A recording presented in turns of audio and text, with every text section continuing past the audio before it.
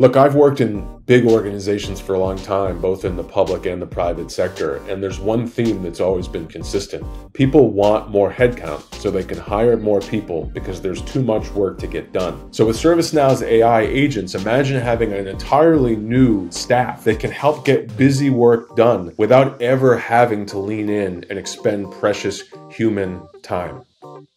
That's what ServiceNow's AI agents are all about, helping to orchestrate work automatically using machine speed and pattern recognition to help get work done so that we can actually free the people up to do work that requires human creativity and human judgment.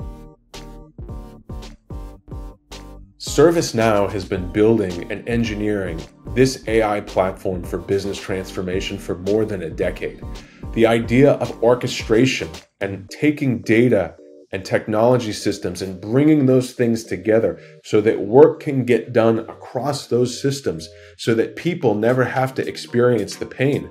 That's ServiceNow's core competency. So when you lift that same value and you give it to AI agents who are effectively doing the work that we no longer want people to do, ServiceNow's platform is uniquely qualified by engineering, experience, API integrations to do the orchestration that very few, if any, other technology systems can do on their own.